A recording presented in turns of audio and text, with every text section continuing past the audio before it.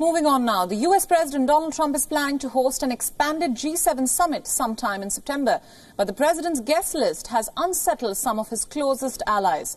The US president is in favor of extending an invite to expelled G8 member, that is Russia. Trump called the current lineup of G7 nations outdated. He has reportedly discussed a structural overhaul with four other world leaders. Russia, Australia, South Korea, and India are likely to get an invite from Donald Trump. Now remember, Russia was part of the then G8 grouping until the year 2014. The country was then expelled after the illegal annexation of the Crimean Peninsula.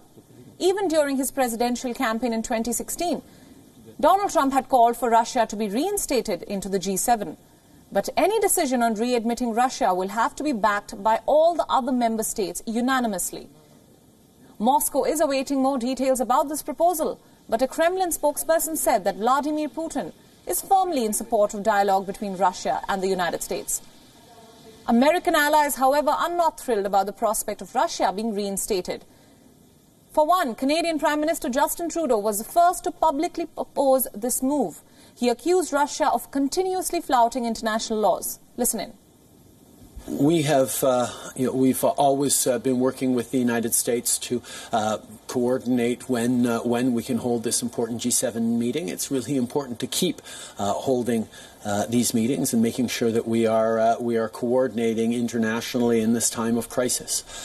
Russia was excluded from the G7 after it invaded Crimea a number of years ago, and its continued. Um, disrespect and um, uh, flaunting of international rules and norms uh, is why it remains outside of the G7 and will continue to remain out.